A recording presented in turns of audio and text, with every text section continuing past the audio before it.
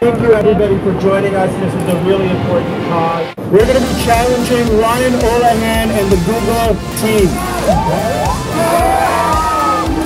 Spaghetti. Oh, we're going to be challenging Jordan Banks with Facebook and the Facebook team.